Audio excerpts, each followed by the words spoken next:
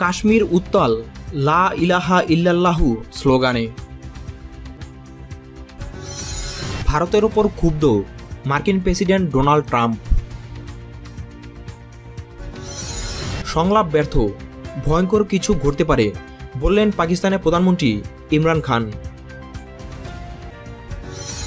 আমাজনে আগুন, আজব দাবি ব্রাজিলীয় ট্রাম্পের। এই মুহূর্তে কাশ্মীর অঞ্চলে আটক অবস্থায় রয়েছে শত শত নেতা। ওই তালিকায় যুক্ত হয়েছেন শাহ ফয়সাল। কাশ্মীরের বিশেষ মর্যাদা বাতিল করার সিদ্ধান্ত ঘোষণার আগেই এসব নেতাদের অধিকাংশকে গ্রেফতার করা হয়। ভারতের কর্তৃপক্ষ দাবি করছে, বিতর্কিত ওই অঞ্চলে পরিস্থিতি নিয়ন্ত্রণ রাখতে এ ধরনের অভিযান পরিচালনা করতে হয়েছে তাদের। এরপর সংবিধানের তিনশো সত্তর দ্বারা বাতিল করে, যার কারণে উত্তাল হয়ে ওঠে গোটা উপত্যকা। সম্প্রতি কাশ্মীরে স্থানীয়রা বিক্ষোভ শুরু করেছে। বেশ বড় আকারে এই বিক্ষোভে সমবেত জনতার ওপর ছররা গুলি ছড়ে ভারতীয় সেনা। বিবিসি এই খবর প্রকাশ করলে ভারত অস্বীকার করে, কিন্তু বিবিসি সেই বিক্ষোভে গুলি ছড়ার ভিডিও প্রকাশ করে। সেখানে দেখা যায়, হাজার হাজার কাশ্মীরি জনগণ বিক্ষোভের জন্য সমবেত হয়। সেই সময় তাদের ওপর ভারতীয় সেনারা ছররা গুলি ছোড়ে। এ সময় বিক্ষোভকারীদের গুলি এড়াতে মাটিতে শুয়ে পড়তে দেখা যায়। আন্তর্জাতিক সংবাদ সংস্থা বিবিসি এই খবর প্রকাশ করলে ভারত বিষয়টি অস্বীকার করে। শুধু তাই নয় এই সংবাদের ওপর ভিত্তি করে বিবিসিকে তোপ দাগে ভারতীয় জনগণ। পরে বিবিসি তাদের ওয়েবসাইটে কাশ্মীরের সেই বিক্ষোভের ভিডিও প্রকাশ করে, যেখানে বিক্ষোভকারী বিভিন্ন স্লোগান দিতে থাকে। তাদের সর্বোচ্চ উচ্চারিত বাক্য ছিল উই ওয়ান্ট ফ্রিডম এছাড়া আল্লাহু আকবার ধ্বনিতে প্রকম্পিত করে সমস্ত এলাকা। বিক্ষোভ সমাবেশে একজন চিৎকার করে বলেছিল, আপ কেয়া চাহতে হে? বাকিরা সমস্যারে গলা মিলিয়ে বলছিলেন, আজাদি। আবার ওইজন বলছিলেন আজাদিকা মতলব কেয়া? বাকিরা সমস্যারে বলছিলেন, লা ইলাহা ইল্লাল্লাহ। বিক্ষোভে ভারতকে ফিরে যাওয়ার কথাও বলা হচ্ছিল। বলা হচ্ছিল, গো ব্যাক ইন্ডিয়া। বিবিসিতে একটি সাক্ষাৎকারে অংশ নেওয়ার পর, ভারত শাসিত কাশ্মীরের একজন সুপরিচিত রাজনীতিবিদকে, যিনি আগে কূটনৈতিক ছিলেন, দিল্লিতে গ্রেফতার করে কাশ্মীরে পাঠানো হয়েছে। শাহ ফয়সালকে বুধবার দিল্লি বিমানবন্দরে আটক করা হয়। সে সময় তিনি একটি বিমানে উঠতে যাচ্ছিলেন। কাশ্মীর অঞ্চলে আটক অবস্থায় রয়েছে শত শত নেতা। ওই তালিকায় যুক্ত হলেন শাহ ফয়সালও। কাশ্মীরের বিশেষ মর্যাদা বাতিল করার সিদ্ধান্ত ঘোষণার আগেই। এসব নেতাদের অধিকাংশকে গ্রেফতার করা হয়। কাশ্মীরের রাজনৈতিক নেতা ছাড়াও অ্যাক্টিভিস্ট, শিক্ষক এবং ব্যবসায়ীদেরও আটক করা হয় অনুচ্ছেদ তিনশো সত্তর বিলোপের আগে এবং পরে। ভারতের ওপর ক্ষুব্ধ মার্কিন প্রেসিডেন্ট ডোনাল্ড ট্রাম্প। সন্ত্রাস বিরোধী যুদ্ধে পাকিস্তান সহায়তা করলেও ভারত একেবারে এ বিষয়ে ভূক্ষেপ করছে না বলে মন্তব্য করেছেন মার্কিন প্রেসিডেন্ট ডোনাল্ড ট্রাম্প। হোয়াইট হাউসে সাংবাদিকদের ট্রাম্প বলেছেন, ভারত সন্ত্রাসবিরোধী যুদ্ধে একেবারে অংশ নিচ্ছে না। আমরা লড়াই করে যাচ্ছি, অল্প হলেও পাকিস্তান কিছুটা করছে। তবে ভারত একেবারে সন্ত্রাসের বিরুদ্ধে লড়ছে না, এটা ঠিক নয়। ট্রাম্প বলেন, যুক্তরাষ্ট্র আফগানিস্তান থেকে প্রায় সাত হাজার মাইল দূরে থেকেও সেখানে যুদ্ধ করে যাচ্ছে এবং সন্ত্রাসীদের পরাজিত করেছে। পাকিস্তানও কিছুটা সহায়তা করছে, যদিও তা অল্প।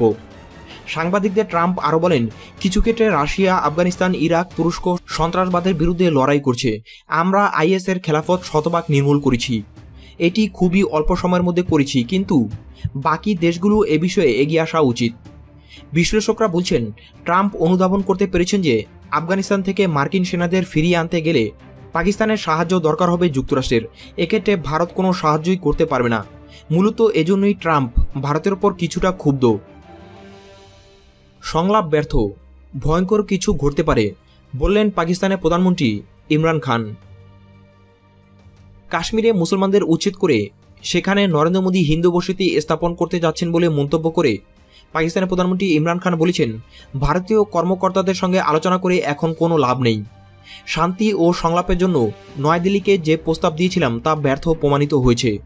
মার্কিন দৈনিক নিউ ইয়র্ক টাইমসের সাংবাদিক সালমান মাসুদ ও মারিয়া আবি হাবিবকে দেওয়া এক সাক্ষাৎকারে তিনি এসব কথা বলেন। কাজেই ভারতের সঙ্গে কোনো আলোচনায় বসার দিকে তিনি আর এগোবেন না বলে জানায় ইমরান খান। এ সময় সাবেক এক কিংবদন্তি ক্রিকেট তারকা বলেন, সবচেয়ে গুরুত্বপূর্ণ বিষয় হচ্ছে, সেখানকার আশি লাখ লোকের জীবন আজ ঝুঁকিতে পড়ে গেছে। সেখানে জাতিগত নিধন ও গণহত্যা সংঘটিত হতে যাচ্ছে বলে আমরা উদ্বিগ্ন। নরেন্দ্র মোদীকে একজন ফ্যাসিস্ট ও হিন্দু শ্রেষ্ঠত্ববাদী আখ্যায়িত করে ইমরান খান বলেন কাশ্মীরের অধিকাংশ মুসলমানকে উচ্ছেদ করে সেখানে হিন্দুদের বসতি স্থাপন করতে চাচ্ছেন তিনি। ভারত কাশ্মীরকে নিজেদের ভূখণ্ড হিসেবে অন্তর্ভুক্ত করার পর অধিকাংশ টুইট বার্তা ইমরান খান বলেন, হিমালয় অঞ্চলটিতে ভারতীয় সরকারের নীতি হিন্দু জাতীয়তাবাদী রাষ্ট্রীয় স্বয়ংসেবক সংঘের মতাদর্শ কেন্দ্রিক। এই সংগঠনটি হিন্দু শ্রেষ্ঠত্ববাদে বিশ্বাসী। সাক্ষাৎকারে তিনি আরও বলেন পাকিস্তানের বিরুদ্ধে সামরিক পদক্ষেপকে ন্যায্যতা দিতে কাশ্মীরে একটি প্রতারণামূলক ভুয়া অভিযান চালাতে পারে ভারত। তবে যে কোনো অভিযানের জবাব দিতে পাকিস্তান বাধ্য হবে। তখন পরমাণু শক্তিধর দুই দেশ মুখোমুখি অবস্থান দাঁড়াবে। এতে যে কোনো কিছু ঘটতে পারে। আমাজনে আগুন। আজব দাবি ব্রাজিলীয় ট্রাম্পের। তিন সপ্তাহ ধরে পুড়ে যাচ্ছে পৃথিবীর ফুসফুস খ্যাত আমাজন বন। কিন্তু এই পরিস্থিতি সমাধানে কোনো ব্যবস্থা না নিয়ে উল্টো আজব দাবি করেছেন ব্রাজিলের প্রেসিডেন্ট জাইয়েস বোল সোনারো ও ট্রাম্প আখ্যা পাওয়া এই প্রেসিডেন্ট জানিয়েছেন দেশি বিদেশি এনজিওগুলো বনে আগুন লাগিয়ে দিয়েছে। ক্ষমতায় এসে বিভিন্ন এনজিওর তহবিল বরাদ্দ কমিয়ে দেন তিনি। আর তাতেই ক্ষুব্ধ হয়ে তার সরকারকে লজ্জায় ফেলতে এনজিও লোকজন আমাজন বনাঞ্চলে আগুন দিচ্ছেন বলে অভিযোগ তার। তবে বোলসোনারও তার এ অভিযোগের কোনো প্রমাণ দিতে পারেনি। ব্রাজিলের মহাকাশ গবেষণা সংস্থা the national institute for space research জানায় উপগ্রহ থেকে পাওয়া ছবিতে দেখা গেছে, এবছর প্রথম আট মাসেই আমাজন বনাঞ্চলের রেকর্ড। বাহাত্তর হাজারের বেশি বার আগুন লেগেছে। এ সংখ্যা গত বছর একই সময়ের তুলনায় প্রায় তিরাশি শতাংশ বেশি। চিরহরিত এ ধরনের বনের আগুন থেকে আসা ধোয়ার কারণে সোমবার সাপাউলো শহরে দিনের বেলায় অন্ধকার নেমে এসেছিল। আমাজনাস এবং রন্ডোনিয়া রাজ্যের বনাঞ্চলে লাগা আগুনের ধোয়া দুই হাজার সাতশো কিলোমিটারের বেশি দূরত্ব অতিক্রম করে সাও পাওলোতে এসেছিল। বিকেল তিনটার পর থেকে ঘণ্টাখানিকের জন্য শহরটি অন্ধকারে ডুবেছিল।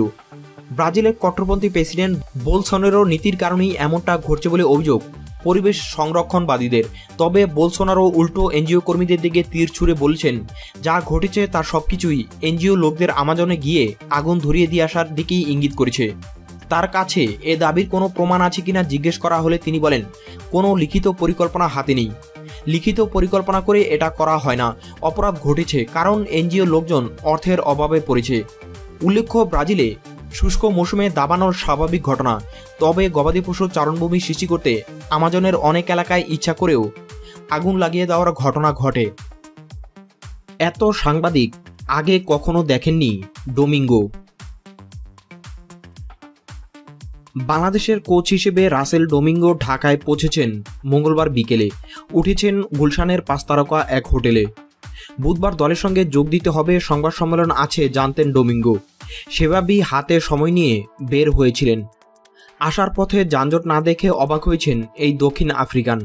সময় লেগেছে মাত্র বিশ মিনিট। ডোমিঙ্গো তাই বলেই ফেললেন, প্রত্যাশার বেশ আগেই পৌঁছে গেছি।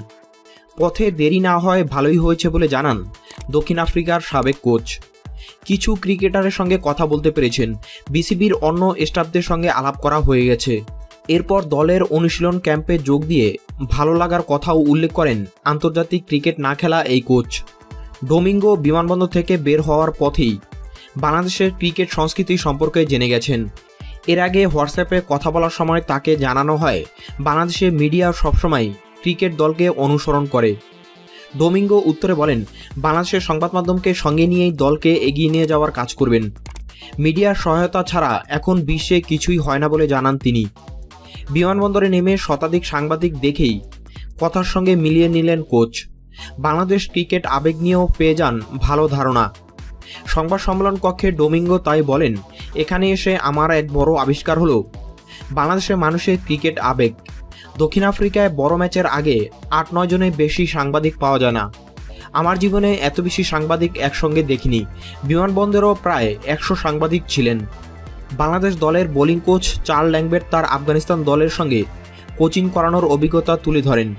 ভারতীয় উপমহাদেশ মানেই এখানকার মানুষের ক্রিকেট নিয়ে বাড়তি একটি আবেগ, যা ছিল দক্ষিণ আফ্রিকায় পাওয়া যাবে না। আফগানদের ক্রিকেট আবেগ হুট করে ধাক্কার মতো লাগবে। ক্রিকেট সংস্কৃতি, আবেগ দেশে বিদেশে ভিন্ন হতে পারে। তবে বাংলাদেশ দলের সঙ্গে যোগ দেওয়া দুই আফ্রিকান কোচের মতে, সব দেশেই একটি জায়গায় মিল রয়েছে, সব দেশেই মানুষ জিততে চায়। হেরে গেলে শুধু বাংলাদেশের মানুষই নয়, দক্ষিণ আফ্রিকার ভক্তরাও কঠোর আচরণ করে বলে উল্লেখ করেন ডোমিঙ্গো। দলকে ভক্তদের ওই হৈহুল্লোর থেকে দূরে রাখাও কোচের কাজ বলে জানান বাংলাদেশ দলের প্রধান কোচ ডোমিঙ্গো। সব দেশেই একটি জায়গায় মিল রয়েছে। সব দেশেই মানুষ জিততে চায়। হেরে গেলে শুধু বাংলাদেশের মানুষই নয়, দক্ষিণ আফ্রিকার ভক্তরাও কঠোর আচরণ করে বলে উল্লেখ করেন ডোমিঙ্গো। দলকে ভক্তদের ওই হৈহুল্লোর থেকে দূরে রাখাও কোচের কাজ বলে জানান বাংলাদেশ দলের প্রধান কোচ ডোমিঙ্গো।